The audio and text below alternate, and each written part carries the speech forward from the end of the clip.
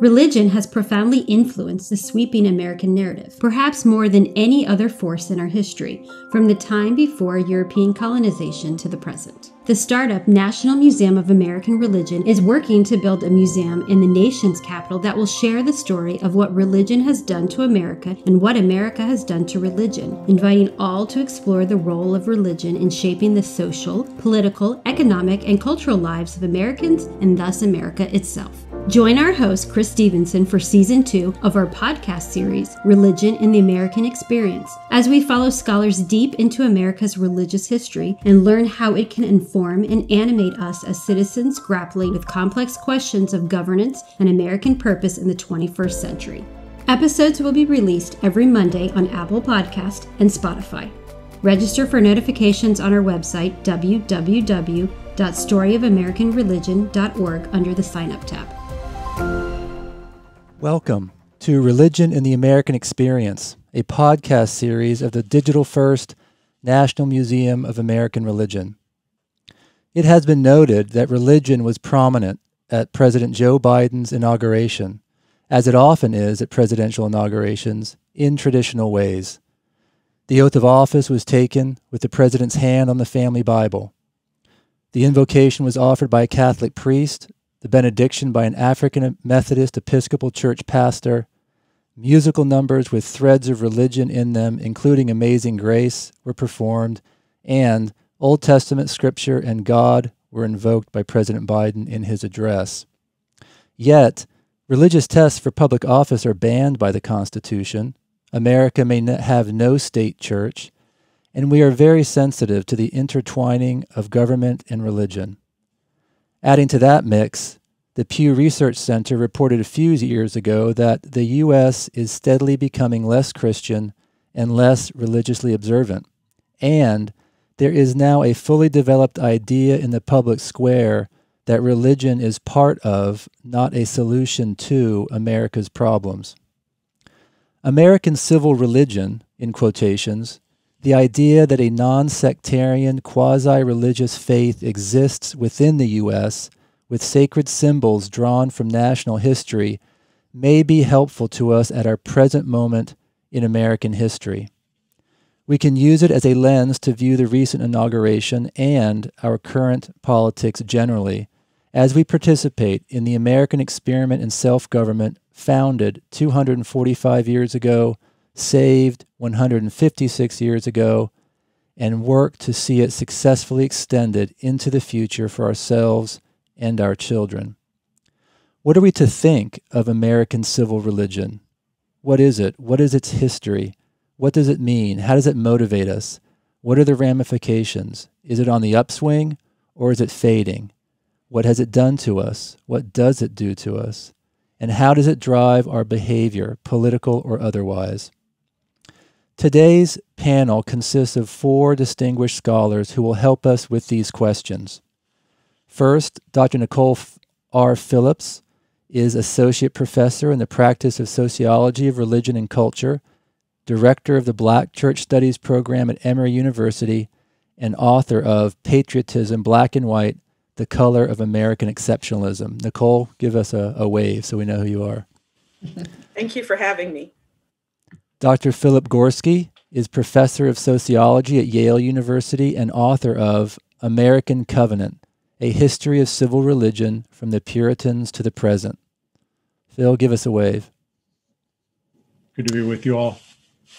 Dr. John Carlson is professor of religious studies at Arizona State University, where he directs the Center for the Study of Religion and Conflict. He is co editor of From Jeremiah to Jihad Religion, Violence, and America. And finally, Dr. Lisa Barnett, thank you, John, is Assistant Professor of American Religious History at Phillips Theological Seminary in Tulsa, Oklahoma. Thank you each for being with us today.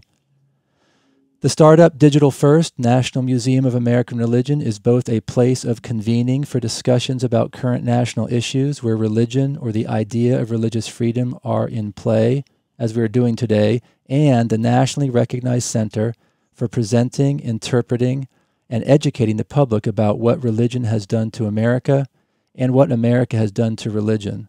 including the history of the revolutionary and indispensable idea of religious freedom as a governing principle in the United States. Join us in supporting the National Museum of American Religion by donating at storyofamericanreligion.org forward slash contribute, where for a donation of $200 or more, you will receive a free gift. Panelists, again, thank you very much uh, and for your patience during that long introduction. Phil, let's begin with you. Can you give our listeners a definition of American civil religion? Sure. American civil religion is a certain story about the United States, how it came to be, and where it needs to go. The contemporary version of American civil religion is most familiar to contemporary Americans through the rhetoric of uh, Martin Luther King Jr. Um, and revived through the rhetoric of Barack Obama, namely that America's project is to be a nation of nations, uh, a people of peoples that is supposed to aspire to be a multiracial democracy um, that uh, affords equality and justice to all. And I think it's important at the very outset to say that this is not the only such story in American Covenant. I distinguish it from two others. One is the story of white Christian nationalism, which says that the United States was founded as a Christian nation by uh, white Christian men, that it is founded in some sense directly on biblical uh, principles, perhaps even directly inspired by God, that its prosperity and power are the result of uh, divine blessings, a special exceptional status that it has in the eyes of God, and that the presence of non whites, non Christians, non Americans on sacred American soil threatens the removal of all of those blessings. There's also another narrative, which I call um, radical secularism, which says America is a secular republic based on a godless constitution that's founded on the principle of separation of church and state, and that any intrusion of religion or religious people into in the public sphere, public discourse, threatens to uh, poison uh, American democracy. So those are the three competing narratives that I identify in my book. And civil religion is, in some ways, I think the the via media, the path between the other two extremes.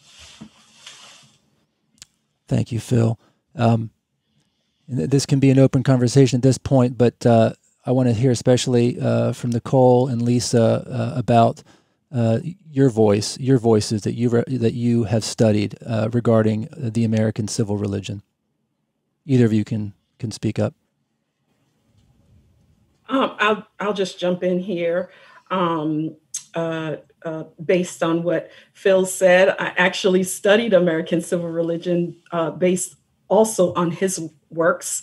Um, but the uh, originator or the person who coined the uh, concept of an American civil religion was uh, Robert Bellah. And so, um, and so many sociologists have written about American civil religion as well as um, uh, historians. And uh, I enter it, I enter this concept of an American civil religion uh, from the perspective of um, a more prophetic form of American civil religion. And so there, there are two forms. Um, there's a priestly form and a prophetic form, or there may be many different forms. But when we talk about an American civil religion, there is a priestly uh, a priestly tradition and a prophetic tradition. And the priestly tradition is more conciliatory in terms of um, critiquing America and, and celebrating individual responsibility and an investment in a market economy and a liberal democracy. And then you have the prophetic form, which is um, it, it, emerges as a place of cultural contestation, um, and and and I and I would suggest more strident uh, critique of where um, America has fallen short. And so, uh, in in the in the ways in which Phil has laid out uh, civil religion being uh, this kind of social canopy of diversity, uh, I enter I enter from the perspective of it is a social canopy canopy, but but um, and that's where we have this um,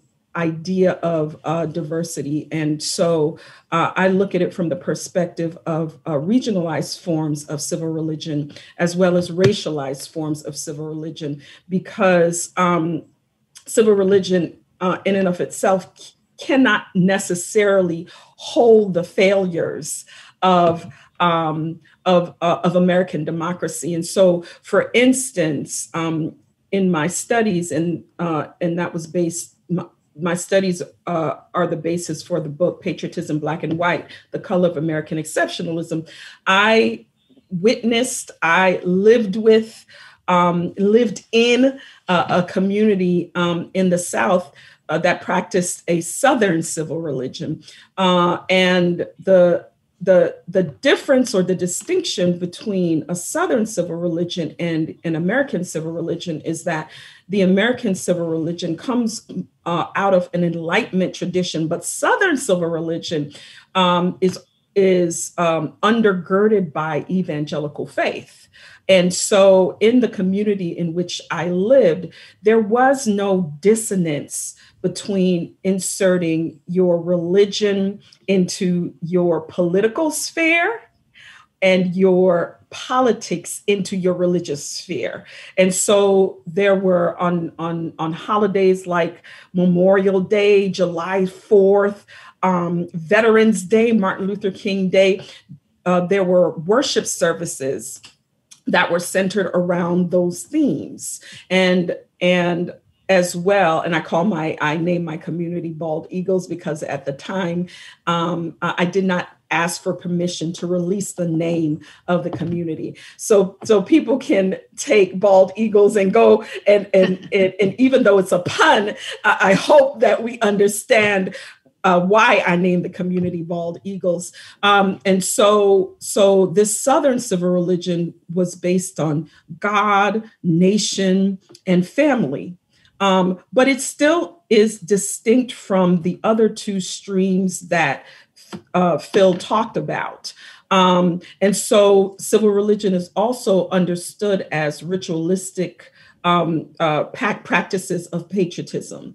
Uh, and so, yes, people were patriotic they served their country. They understood that as being uh, American and what it meant to be American. Um, but then you have the racialized version, the, the Black version. And the uh, Black version of civil religion always is, um, in some respects, connected to a Jeremiad uh, tradition. So, where America has fallen short with respect to um, Black people and other peoples um, of color, and and always um, and calling calling America back um, as a corrective to to to correct itself, so that we can move forward as a nation.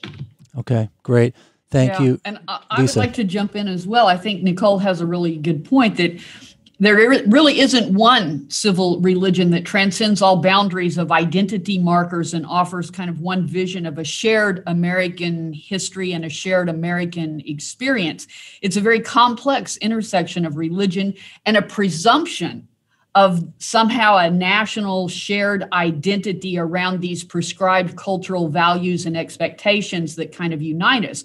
But it really is more of a reconstruction of a nation's history that relies on myths and rituals and symbols to help create kind of this commemorative cultural memory that displays at least to the collective this ideal representation of who we are but it's built around these policies of uh, that value settler colonialism uh, that still encroach upon religious practices. And I would say, from particularly the, the Native American perspective, even the phrase civil religion calls up the twin prongs of civilization and Christianization to meet the quote Indian problem of the 19th century and to ship people off to boarding schools and erase then the culture uh, to meet those twin goals. Thank you for that, uh, Lisa. Appreciate that. John, anything uh, here at the beginning, at the outset, you want to say about um, American civil religion before we move on? Well, well let me start with a, a caveat, which is that uh, civil religion is a scholarly term, and um, it carries a lot of baggage. I would, if civil religion was a suitcase and you put it on an airplane, it couldn't get off. That plane could not get off the ground. That's how much baggage the term civil religion has. And so I think it's important in a conversation where you've got both academics think discussing a kind of um, set of ideas that are uh, engaged within the academy, uh, as well as a general audience for whom civil religion is not necessarily the kind of most intuitive idea. What what is that? I mean, a lot of people are kind of allergic to the term religion. Um, it's important to think about well, what is it, or what are the other ways that you could describe it? So I would say, sort of, let me just mention very briefly four four things.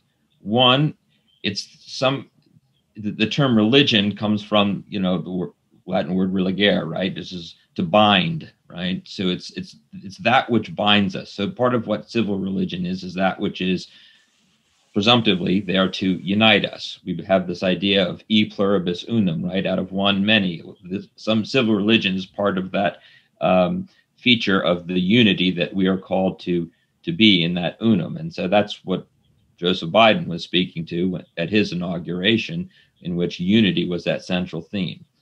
I would say that another part of it has to do with a faith in democracy, democratic faith. If you don't like the word religion, think of it as a civic creed or a democratic faith.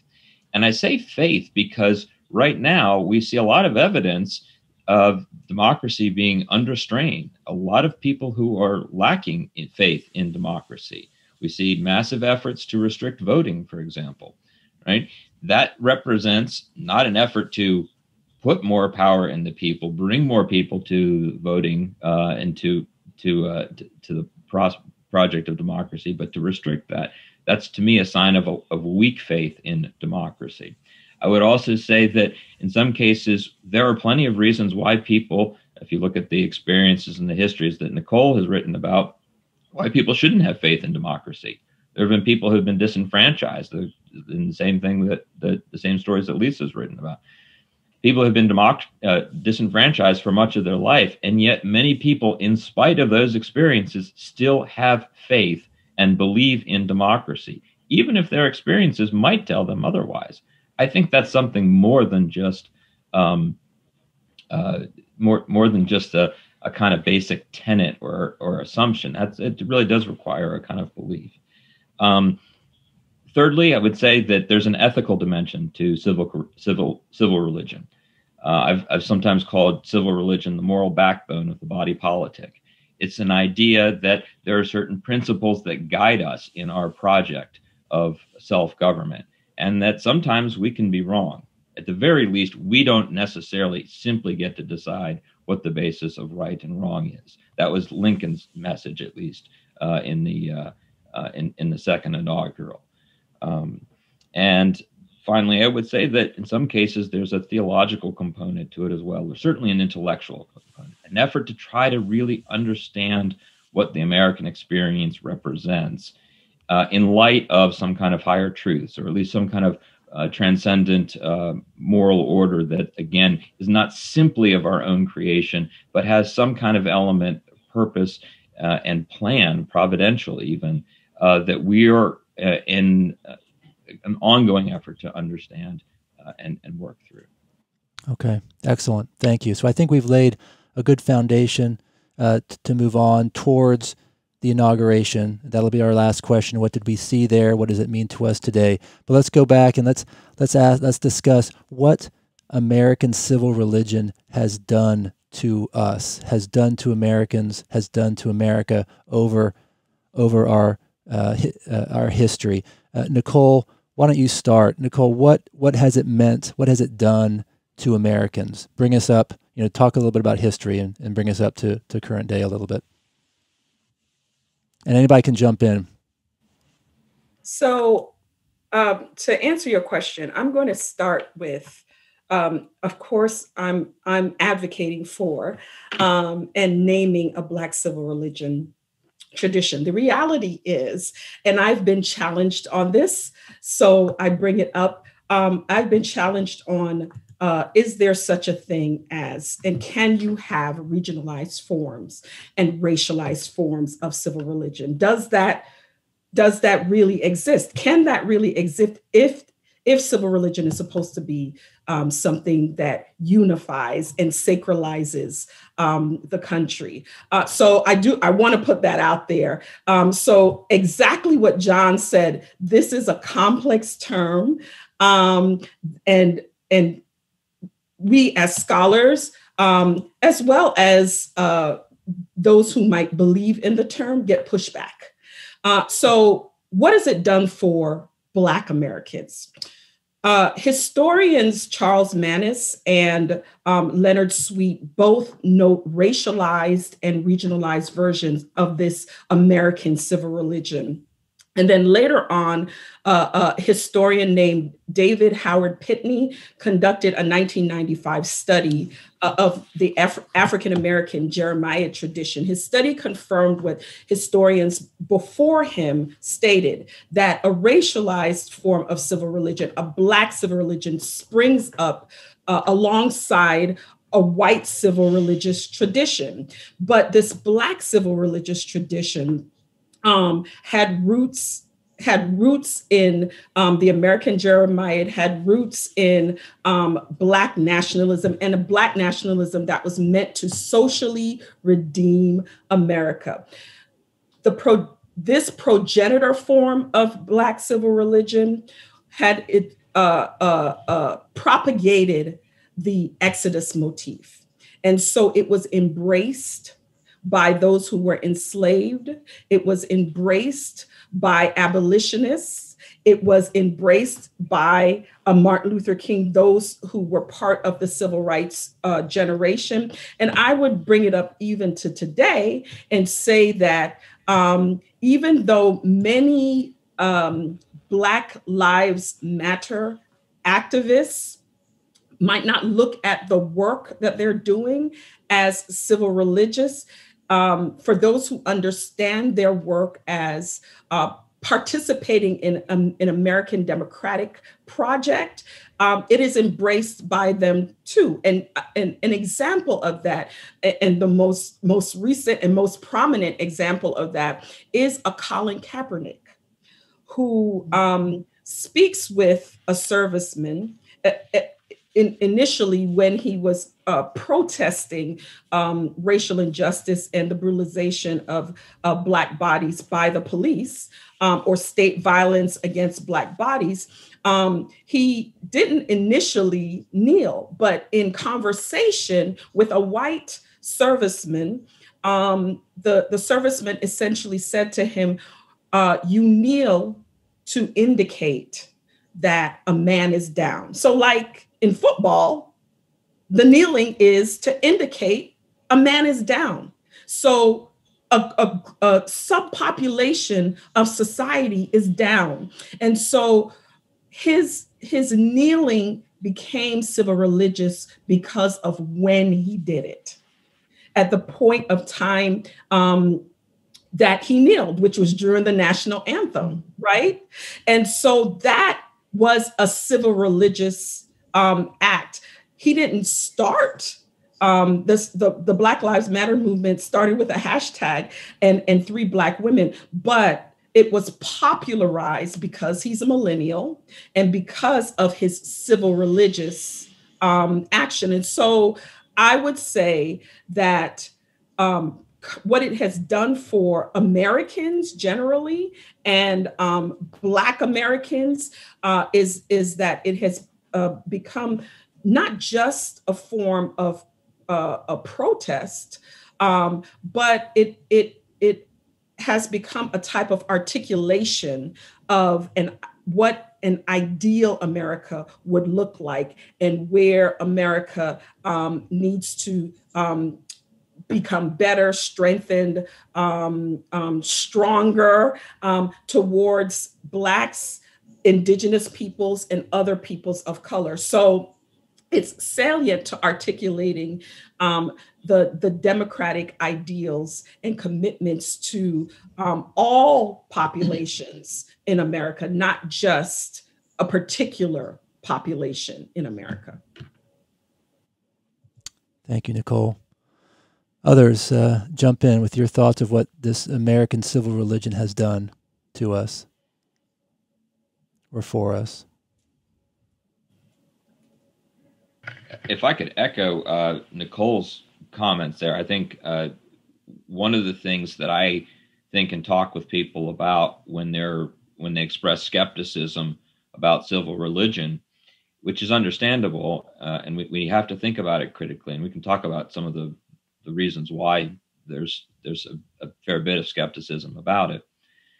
But before what I what I say in response is before you take that off the table, think about what you're pulling away, because the discourses and traditions of civil religion are not only long and enduring and form part of the heritage of the country, but they've been essential principles that minorities in our country have always drawn upon to demonstrate that they are fully American too. And when you pull that away, you pull that back, what are you left with? What are they left with? What resources are you giving marginalized people to be able to then say, we're fully American too, look at us?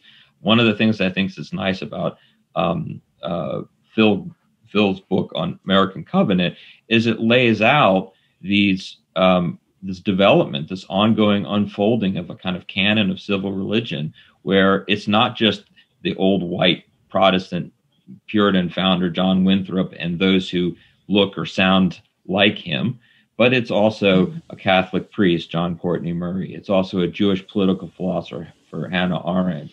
Uh, it's also you know black thinkers like and, and activists like Martin Luther King who embrace that, and and it's oftentimes using the prophetic language that's really really critical the black jeremiad is uh, has been a has been a, a vital vitally important part of the of the american tradition. Um, you know nicole mentioned the exodus politics. That exodus politics goes back to the revolution when uh, the motto was um, uh, you know uh, uh, resistance to you know rebellion against tyrants is obedience to god right? And they actually had, you know, Moses, this icon of Moses leading the Israelites uh, through uh, to the promised land with Pharaoh behind them. Pharaoh, of course, at that time rep- being represented by the by the English crown. Uh, so the Exodus politics is goes back a long, long ways, and of course, it's been used in the uh, against uh, in the fight for abolition and against slavery in the civil rights movement. You know, King famously saying, "I may not get there, uh, with you when he looks over, but I have seen the promised land, right? So this is this is just really crucial to our uh, to our, to our own tradition and and our heritage, and I, I, think we have to recognize that important part of the prophetic piece. Let me say something very briefly, though, in support of the the um, the priestly dimension of civil religion. Uh, we can sometimes um, focus more on one and on than on the other I think that priestly dimension is still very important. Nothing was more important for legitimizing the first black president of our country than the priestly tradition that he embodied when he took the oath, when he gave a stirring inaugural address, when he fell in line with this long tradition of uh, that had gone before him, and and then added to it.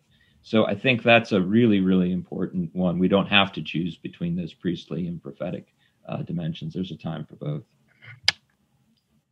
Thanks, John. Lisa, I'm interested to hear from you. Uh, what has the uh, uh what has American civil religion done to uh, and for Native American populations?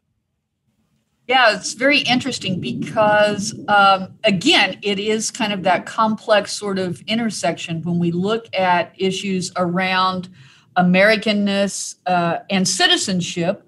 I mean, one of the last groups to actually get citizenship in this country and status were Native Americans, 1924 with the Wheeler Act, right?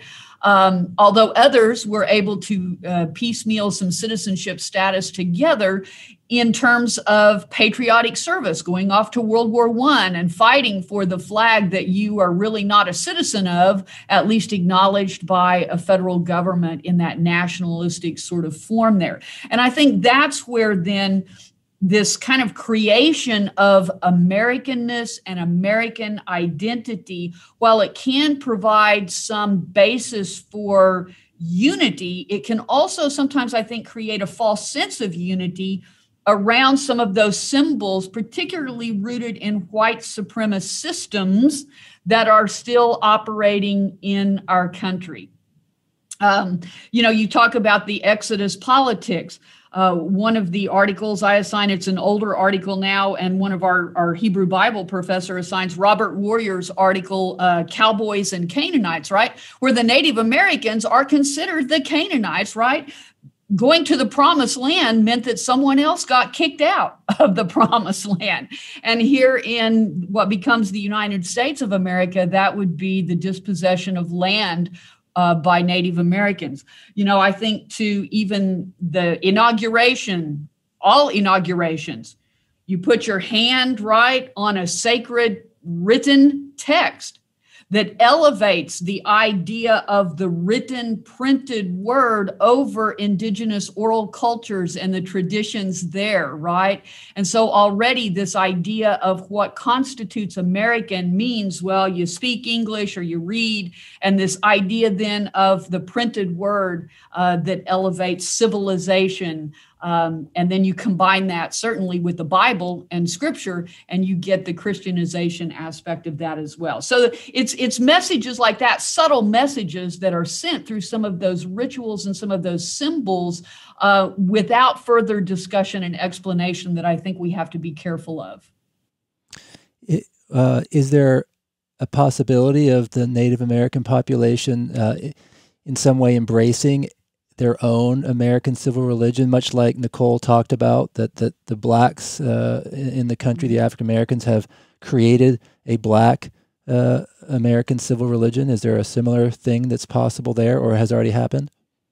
Yeah, I think certainly it started with the Red Power uh, of you know movement in the 1960s and the 1970s. It continues today, certainly with the protection of water issues, uh, Standing Rock and Oak Flats, and and and land issues. This you know what a lot of people don't understand is that the sacredness of particular lands to particular tribes is so very important to the preservation of a religiosity that is tied and rooted in the land.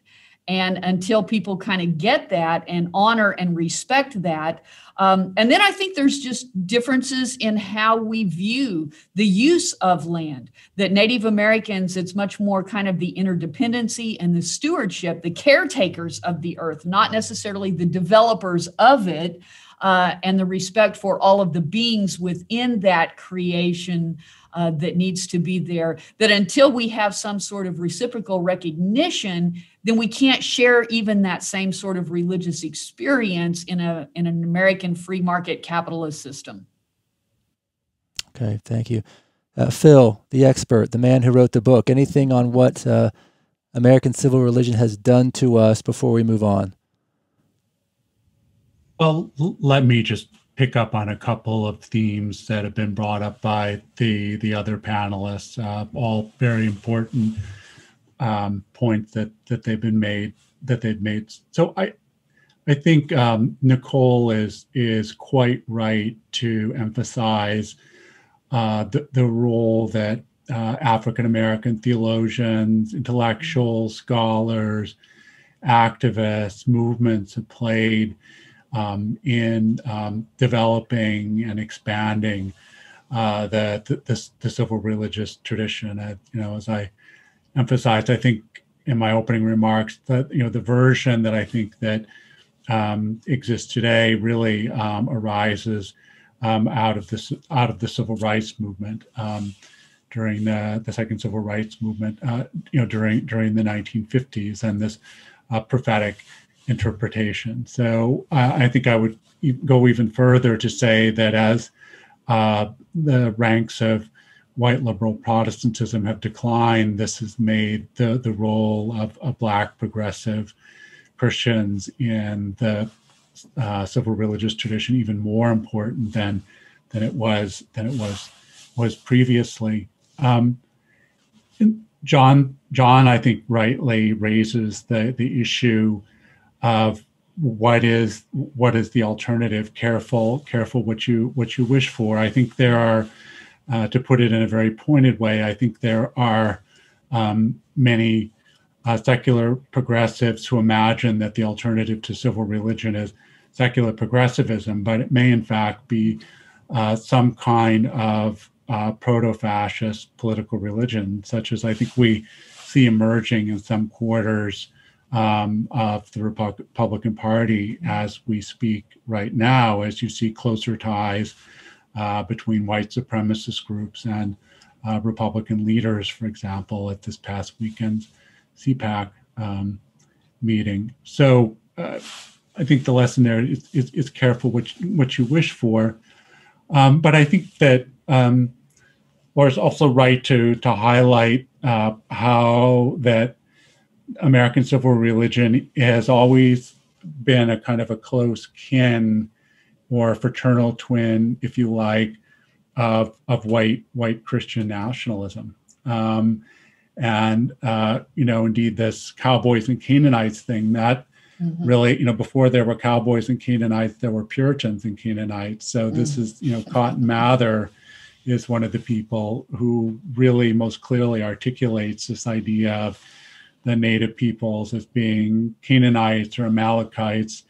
Um, you know, there was a certain puzzlement initially amongst the Puritans about how to understand the native peoples. Were they the lost tribes of Israel? Were they people to be uh, converted? Um, well, um, one one way of interpreting it was in this exterminationist way, and I I do think that one of the things that is um, redeeming potentially about uh, this kind of prophetic version of American civil religion is that there is a self awareness of sin and the original sin uh, in the American project, um, and you know, a desire somehow to to make things right, and that part of what that does mean is it means uh, sort of openness, dialogue, uh, and and uh, and inclusion, and opening the possibility of a again of a nation of nations and and a people people of peoples. Thank you, Phil.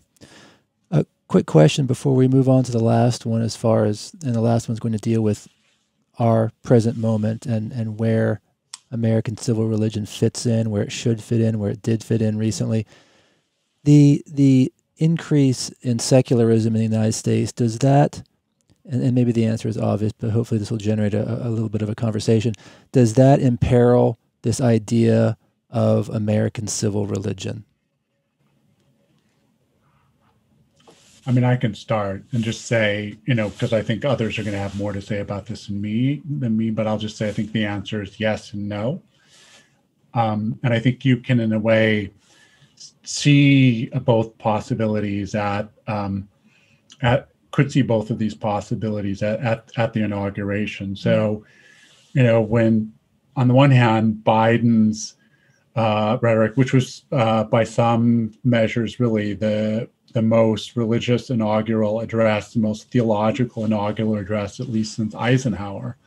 You know, with, for example, the explicit invocation of Augustine, poetry from Seamus Heaney, that in his favorite Catholic poet.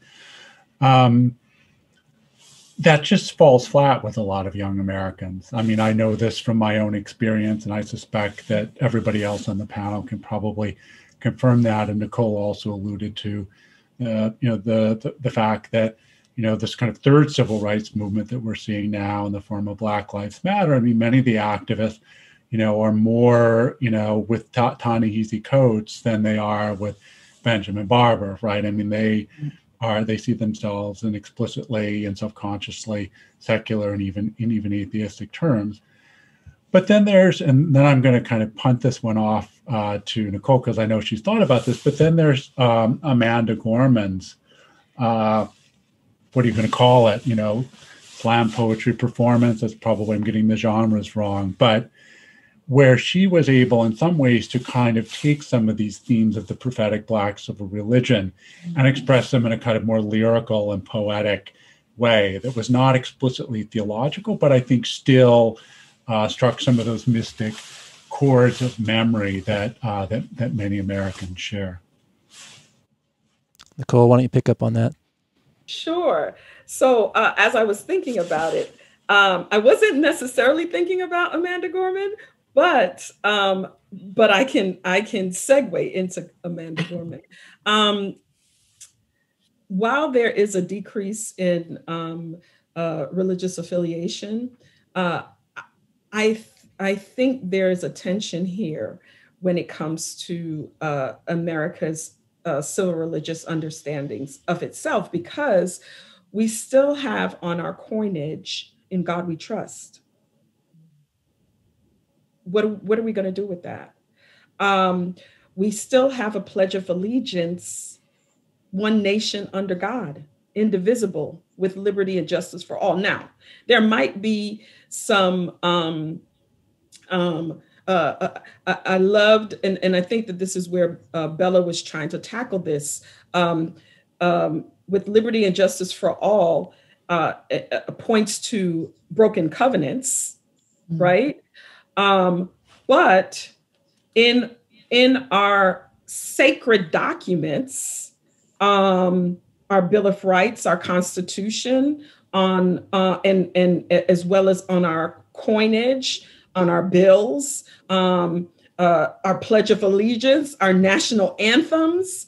Um, there is still a reference, still civil religious references. Uh, so I don't know how to square the decrease in religious affiliation with um, uh, implying that um, America's civil religious traditions uh, or, or, or, tradition might be dying or dead. Um, um, and even Bellah himself, uh, stru- uh, I don't want to say struggled because struggle would mean that he struggled, but but but but wanted to name civil religion something different as he matured in his thinking. Yet I don't know what what other what what would be the other name. Um, so the nation's um, beginnings and developments uh, is strongly tied to this civil religious tradition. So when we think about Amanda Gorman and politics um, today, uh, everyone is asking, what are we going to do with the polarization that is happening in America? And um, from my perspective, we needed an inauguration. We needed an inauguration to counterbalance um, the the the uh, strong display. Now, everybody on January 6th was not a Christian nationalist, mm-hmm. um, but the strong display of Christian nationalism that um, uh, uh, and and and Phil can talk to this better than I can. and and Whitehead and Perry can talk to this better than I can, but but this rate this this religiously authoritative um, yet tribal and racialized form of Christianity that points to um, uh, division. Um, at least with American civil religion, there is strivings towards inclusion even if and hence more perfect union right even if there are um, even if the strivings have to overcome uh, uh, broken covenants. But and so what Amanda Gorman does, and and and and and I would say reflect both both President Biden and Gorman reflected in their uh, deliveries at the inauguration, not consensus, And I think that that's what we have to push against. I mean, Charles mm-hmm. Long talked about this in the 1970s. Uh, that civil religion isn't should not necessarily be about consensus, but we heard with with what they offered the nation, um, there's this recognition that civil religion is superstructural and infrastructural. It is above the nation and it is part of the nation. It um, reinforces nationhood and peoplehood, and it um, recognizes um, that there are failures to striving towards uh, nationhood. And and and and so one of the reasons why i say it was important um, is we needed we needed a civil religion to bring us back together and to unify us under this canopy despite our different stories. And we saw and we heard different stories. We saw this young woman who's 22 years old a, harvard graduate yet comes from a single um, uh, a, a, a single mother black single mother family and has a twin uh, and has been and many have poured into her and and um, and and and delivered a civil religious uh, a civil religious inaugural uh, poem. Uh, and and but but but then we also have a president biden who also delivered a civil religious speech but but they both represented uh, the diversity that i think a civil religion can contain or the diversity of stories um, because Biden's stories is compelling. Service to the nation, son who is who dies of cancer. I mean, it might sound like spectacle, but a good story is one that um, people can connect to and relate to. So, as a Black woman, I related to him. I connected to him because his story isn't one of just triumph. His story is one of failings. I mean, how many times did he run for president or aspire? And now at what, 78? he finally, he's finally president. So I say all that to say the importance of civil religion uh, in today's political arena is because of the polarization that people are trying to um, treat, overcome, or point out and recognize. And the question is, how is it going to be overcome? And uh, a civil religion that is that strives towards inclusiveness um, uh, becomes a guide towards nationhood and peoplehood, despite the failures and the failings. Thanks, Nicole. You, you brought us right into, and I appreciate that. Uh, what can, let's talk about what American civil religion can do for us today. We saw it on display, we've talked about its history. Uh, let, us talk about that a little bit. Lisa, why don't you pick up and, and say, tell us what you think it can do for us today, and then we'll move to John. Yeah, I think for for us today, it can help open dialogue and discussion um, about our past histories and those failings uh, that we've pointed out, and the recognition of harms, specific harms that have been done to particular peoples. Um, and it then it can lead to, I hope, some more productive conversation to repair some of those breaches in the words of william barber right? Uh, and then to be able to to sort of move forward. I mean the, the, nicole you talked about this distinction between the spectacle and the story and i couldn't help when watching you know i hear the mention of indigenous peoples in the benediction right uh, delivered there by uh, reverend beaman. Um, but and then I saw, you know, later in the evening, the uh, uh, Denny Medicine Bird, the Kiowa Cheyenne Arapaho, right, dancing behind Demi Lovato's performance there. And that spectacle and the inclusion there of Indigenous people. And yet, I hear J-Lo talking, this land is your land, this land is my land, right? So the progressive liberal Woody Guthrie, right, coming in and for indigenous folks, well, whose land was it before the, the settler colonials arrived, right?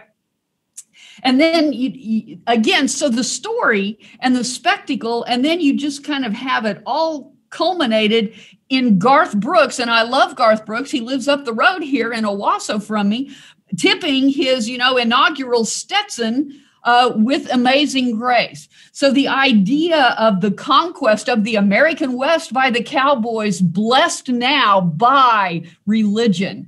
And so I think these kind of symbols and the discussion that we can have around the rituals and the symbols and what they mean can then help us better understand where we have failed and where civil religion can then the you know try to unite us uh, in going forward thanks uh, lisa john i think if we're going to talk about what uh, what the promise or potential of civil religion is today one thing to think about is um, uh, is in some ways what a different moment we're in right now. Uh, I wrote after the inauguration of of Donald Trump and the address that he gave that that was the starkest departure of anything we have ever seen in any inaugural address ever before.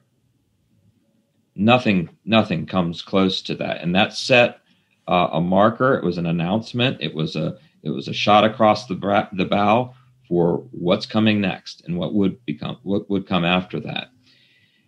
I think it's in the moment we're in now, still in some cases reeling from the insurrection, still reeling from, still facing um, utter falsehoods about about voter fraud, efforts to to crack down and disenfranchise people. Uh, we really have to step back and think about well, what maybe we took for granted in some cases what civil religion has done for us for quite some time. So, uh, at the risk of sounding trite, civil religion has always been a very bipartisan uh, language. If you read the inaugural addresses of presidents from both parties, um, dripping in language of freedom, of liberty, of justice, of democracy, of extolling the past, referencing uh, historical events, monuments, looking out, you know, inauguration inaugural address is given there right in front of the Capitol, looking out with all of the monuments shaped in the in the uh, in the uh, in, a, in, the shape of a cross, of course. Um, you know, all of these things that Americans are supposed to just simply agree upon. We can take these things for granted. We all know what we disagree upon, and we've had massive policy kinds of debates and differences in recent years. Um, but those, to me, is when I think about what have been the most arduous, uh, arduous debates and difficult debates, they, they almost kind of just recede into the distance right now. We're not. I mean, the, the, abortion is an extremely difficult policy issue. It's just very, very hard. But the major differences right now in our political divide are not, in my view, primarily over abortion or other so called culture war issues. So civil religion is reminding us of, in the rift that we see to some extent, is reminding us of what we've what we've lost and where it is we can preserve a kind of fundamental sense of a ground that we share and can stand upon, whatever our differences about certain policies, laws, uh, and, and things might be. So I think that's really important. The second thing is uh, another. I would make a pitch for the idea of consensus. A consensus, when it's backed up by force, can be uh, a form of violence. We know that. That is definitely true. We always have to keep that in mind.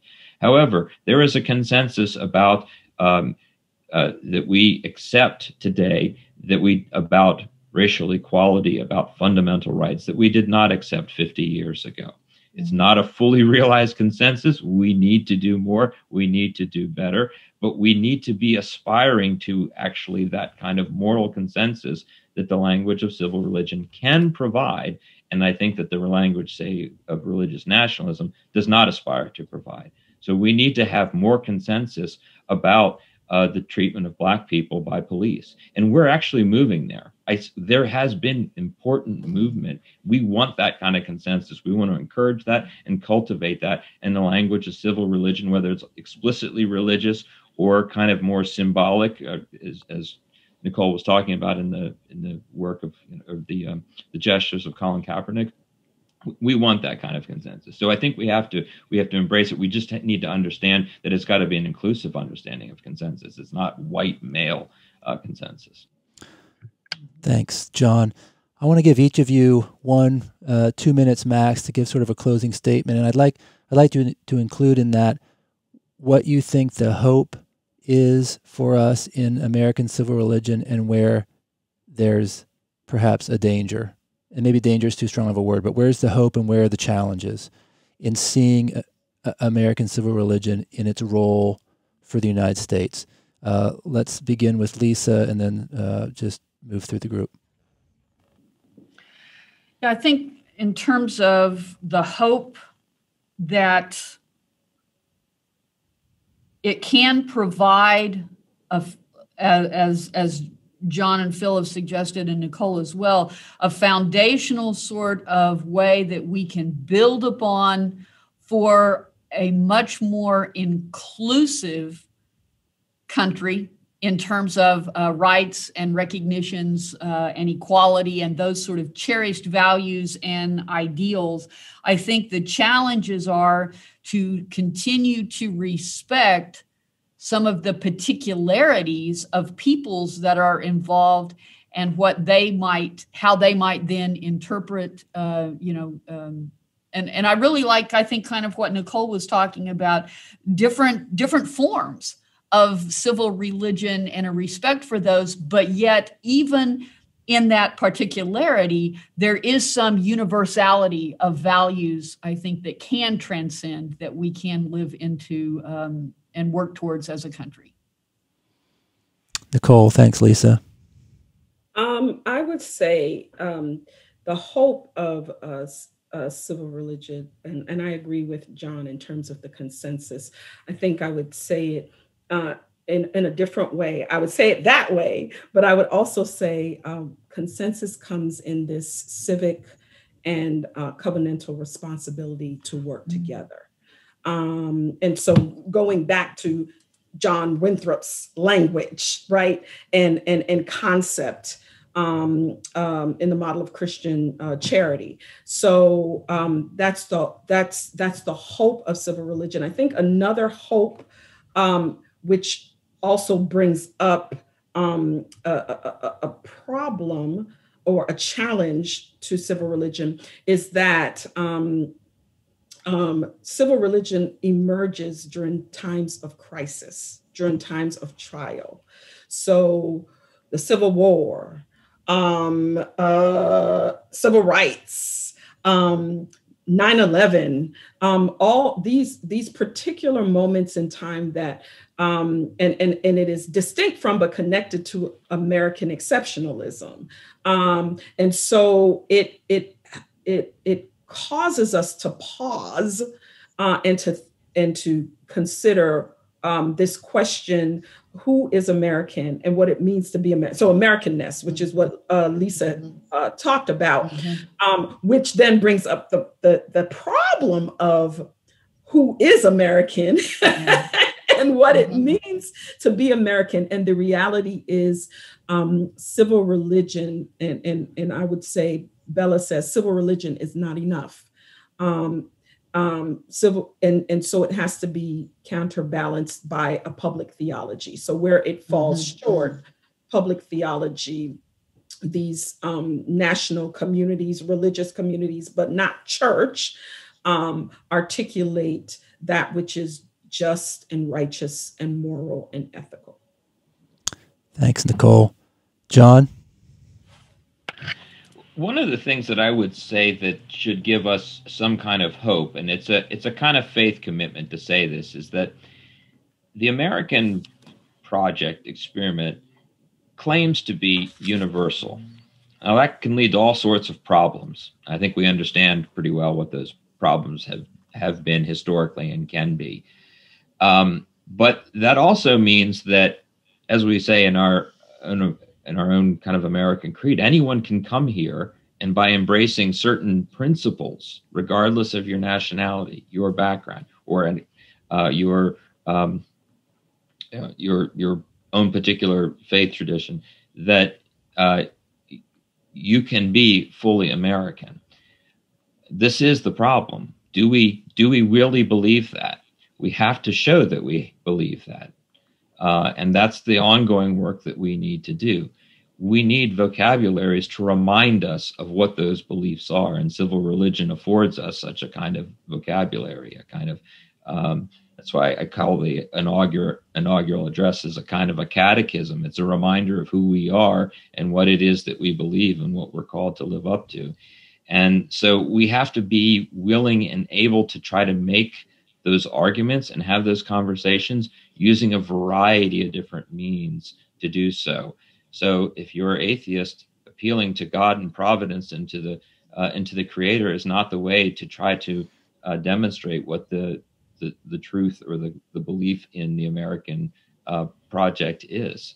It's being able to show that one can be fully uh, American and part of the uh, and part of the country and the nation uh, by being an atheist. And we've got to be able to make those kinds of um, have those kind of conversations on a lot of different in a lot of different ways and a lot of different grounds and terms. Thanks, John. Phil.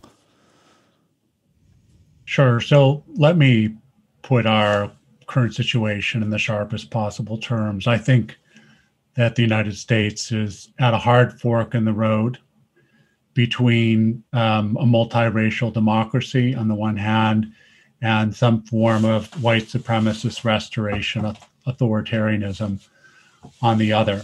So, what role can civil religion possibly play in this moment? Um, to some conservative white Christians who are tempted by the idolatry of white Christian nationalism. It provides an alternative way, um, a different political theology that will help them think about the relationship between their Christianity and patriotism in a more inclusive um, and democratic fashion. For secular progressives, I think that it can remind them of the positive role that uh, prophetic forms of Christianity and religiously driven social movements um, have played in um, progress towards the things that they value most, such as racial equality and and social justice. And I think, lastly, that it can remind everybody that in this current moment, there's a lot more at stake than your uh, personal short term policy preferences by placing this moment um, in a much deeper historical and even transcendent framework. Thank you, Phil. We could definitely do a second or third hour, but uh, we're in 2021 and an hour's about max of attention spans, yours and mine probably as well. Uh, we have been listening to Dr. Nicole R. Phillips, Director of the Black Church Studies Program at Emory University. Dr. Philip Gorski, Professor of Sociology at Yale University, Dr. John Carlson, Associate Professor of Religious Studies at Arizona State University, and Dr. Lisa Barnett, Assistant Professor of American Religious History at Phillips Theological Seminary, discuss the history and ramifications of American civil religion and how understanding this helps us better participate in the American experiment today and to see for to its successful future for us and our children.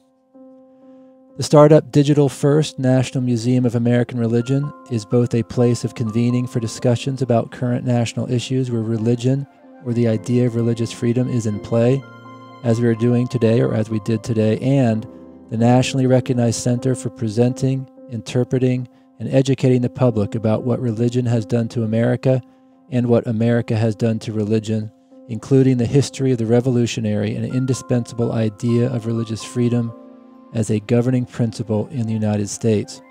Join us in supporting the National Museum of American Religion by donating at storyofamericanreligion.org forward slash contribute, where for a donation of $200 or more you will receive a free gift. Nicole, Philip, John, and Lisa, thank you so very much for being with us today. It has been enlightening and helpful in our quest to understand what religion has done to America, including the establishment of religious freedom, and how we can best participate in the public square today. The podcast series Religion in the American Experience is a project of the National Museum of American Religion. Episodes are released each Monday on Apple Podcast and Spotify. Register for notifications on our website www.storyofamericanreligion.org under the sign up tab.